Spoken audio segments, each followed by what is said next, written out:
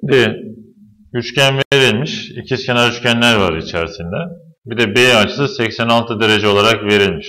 Şuradaki açı, buradaki açı 86 derece. Bizim aradığımız açı da FDE açısı. Yani şu açı. Ona da x diyelim.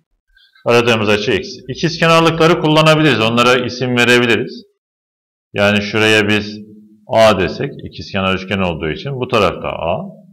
Yine benzer şekilde şuradaki açıya B desek, bu taraftaki açı da B, ikizkenarlıktan dolayı. Şimdi şunu söyleyebiliriz.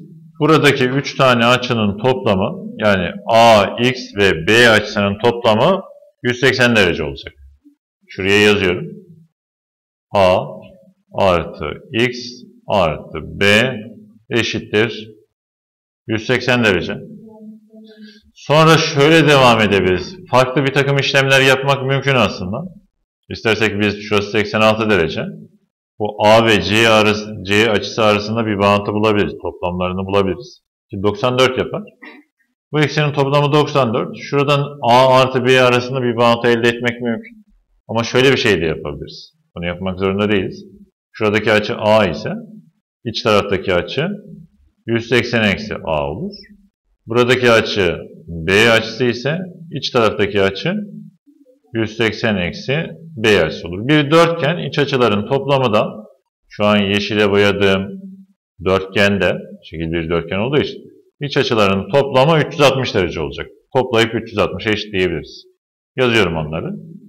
Şurası x artı 86 olacak. Sonra şurada 180 eksi a var. Artı burada 180 eksi b var. Bu toplamın sonucu x açısı 86, 180 eksi a, 180 eksi b eşittir 360 derece.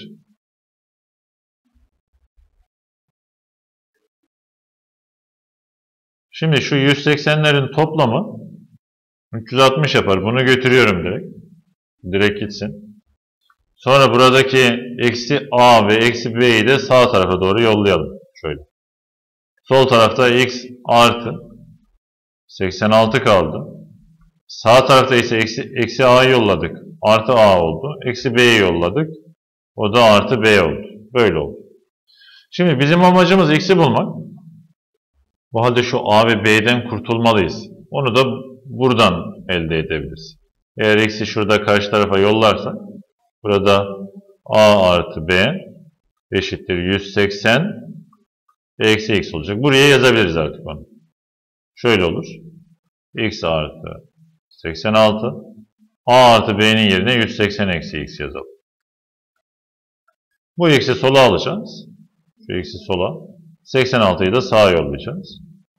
Burada bir tane x var. Bir de eksi x geldi. 2x yapar. Eşittir. 180'den 86 çıkarırsak 94 eder. 2x 94 ise x'imiz de 47 olur. Aradığımız açı 47 dereceymiş.